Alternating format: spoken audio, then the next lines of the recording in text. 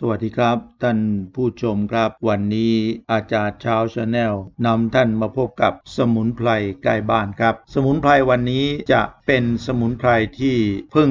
มาอยู่ใกล้ๆบ้านนะครับ เพราะว่าเดิมทีนั้นสมุนไพรชนิดนี้เนี่ยและถ้าเราจะเจอเขาเราจะต้องเขาเดินเข้าป่านะครับเขาจะอยู่ในป่าครับ เป็นป่าชั้นต้นนะยังไม่ถึงป่ารกชัดนะครับ เป็นป่าแบบแบบหัวไร่ปลายนานะฮะแต่ก็ถือว่าเป็นป่านะครับ ต้นนี้เรียกภาษากลาง ภาษาตำรายาสมุนไพรว่าต้นสังกรณีครับ หรือตามภาษาตามภาคต่างๆ เรียกว่ากวางแฉะนะครับ หรือบางทีก็เรียกว่ากวางตูดแฉะ นะครับวางก้นแฉะอะไรทำนองนั้นนะครับ ซึ่งชื่ออที่เรียกกันติดปากนั้นก็เป็นชื่อที่บ่งบอกถึงสรรพคุณของยาโดยเฉพาะนะครับ วันนี้จะนำให้ท่านได้รู้จักครับ นี่คือลักษณะของใบเขาครับ ลักษณะของใบ แล้วก็ลักษณะของดอกนะครับดอกเนี่ยกรีบดอกนะครับหรือว่าโคนของดอกนี่จะออกมาเป็นกลีบกลีบๆ นะครับซ้อนกันดูสวยงาม แต่ว่าเวลาดอกเขาโผล่พ้นออกมาเนี่ยจะเป็นดอกสีออก ม่วงม่วงๆนะครับอมสีคล้ายๆ ดอกบานเย็นอะไรทำนองนั้นนะครับ บางทีก็เป็นสี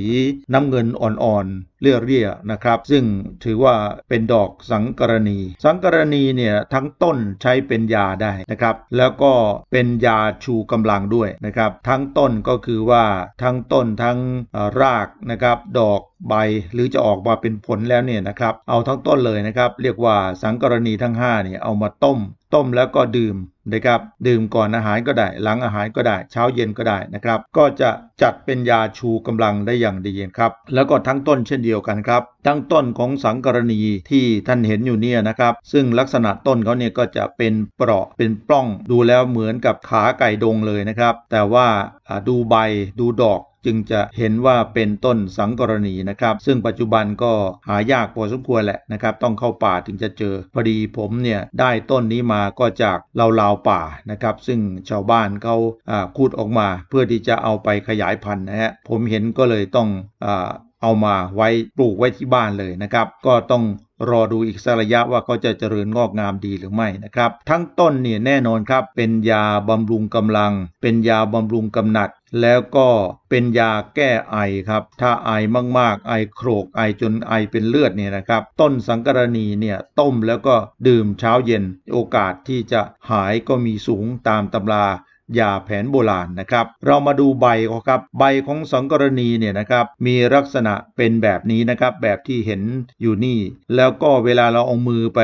ลูบไปคลำดู จะเห็นว่ามีขนครับนะใบของเขาจะมีขนมากบ้างน้อยบ้างนะครับ โดยปกติแล้วใบก็จะออกสีค่อนข้างเขียวนะครับ แต่ว่าก็แล้วแต่บางต้นครับ บางต้นเนี่ยได้รับแสงแดดมากๆ ใบก็จะออกเหลืองๆคล้าย ๆ ต้นนี้นะฮะออกจากป่ามาแล้วก็คงมาอยู่ในที่แห้งแล้งได้รับแสงแดดพอสมควรนะครับ ถึงแม้จะออกดอก แต่ก็ด้วยฤทธิ์ของการออกดอกเนี่ยนะครับก็จะทำให้ใบของเขาค่อนข้างเหลืองนะครับ แต่ก็ยังเป็นใบสดอยู่นะครับ ใบของสังกรณีเนี่ยนะครับ เอาไปต้มแล้วก็กินน้ำแก้ไข้หวัดใหญ่ได้นะครับ ไข้จับสันได้ ไข้จับสันเนี่ยไม่ใช่เฉพาะใบนะฮะ ใช้ทั้งต้นรวมได้เลยนะครับ ใบเนี่ยแก้คออักเสบนะครับ แก้เจ็บคอ ใบเนี่ยเอาไปต้มกินนะครับ ซึ่งอาจจะรวมทั้งต้นด้วยนะครับ ถ้าหากว่ามันมีต้นไม่เยอะเราก็ใช้เฉพาะใบ เอาไปต้มเนี่ยเป็นยาขับปัสสาวะครับนะ จากใบเรามาดู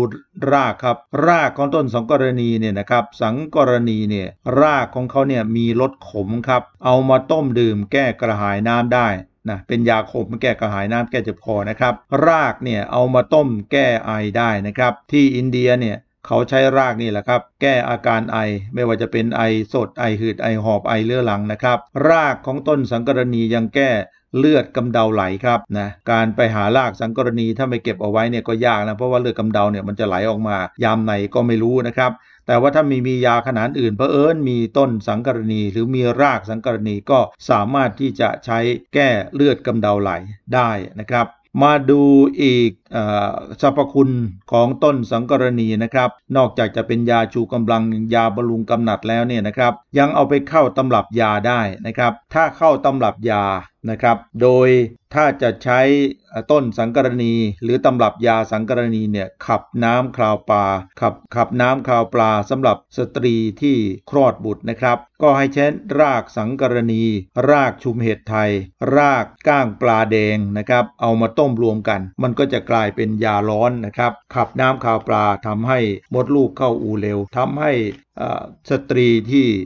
หลังจากคลอดเนี่ยนะครับสามารถที่จะฟื้นฟูระบบร่างกายได้รวดเร็วครับ ทั้งหมดนี้เป็นสรรพคุณของต้นกวางตูดแฉะ หรือว่าต้นสังกรณีนะครับ ซึ่งปัจจุบันนี้ก็ต้องฮือฮาพอสมควร เพราะว่าผู้ที่มีความรู้หรือหมอ ชาวบ้านหมอแพทย์แผนโบราณเนี่ยก็จะเอาต้นสังกรณีเนี่ยมาชูกำลัง มาชูโลงในด้านเป็นยาชูกำลังให้กับท่านสุภาพบุรุษได้อย่างดีนะครับ เพราะฉะนั้นก็ถือว่าต้นสังกรณีถ้าเจอที่ไหนก็สามารถที่จะหามาปลูกเอาไว้ในบ้านได้นะครับ ถ้ามีแล้วก็โดยอย่างเบื้องต้นเนี่ยเราก็สามารถใช้ใบก็ได้นะครับเอาละครับท่านผู้ฟังครับ ท่านผู้ชมครับ อาจารย์ชาวชาแนลก็ขอบอกย้ำเตือนนะครับว่าการใช้สมุนไพรนั้นก็จะต้องมีความรู้พอสมควรนะครับ ถ้าไม่แน่ใจก็ต้องสอบถาม ท่านผู้รู้ หมอยา หมอยาแผนโบราณ หรือว่าดูตำราหรือว่าหาความรู้ใส่ตัวให้ดีก่อนที่จะไปใช้นะครับนะสมุนไพรทุกตัวให้ประโยชน์แต่บางตัวก็ มีโทษถ้าเราใช้ไม่ถูกวิธีนะครับสำหรับวันนี้อาจารย์เช้า Channel ช่วงสมุนไพรใกล้บ้านลาไปก่อนนะครับ อย่าลืมกดไลค์กดแชร์กดติดตามกดรูปกระดิ่งด้วยนะครับ สมุนไพรขนานใหม่เกิดขึ้นท่านจะได้รับรู้ก่อนใคร สวัสดีครับ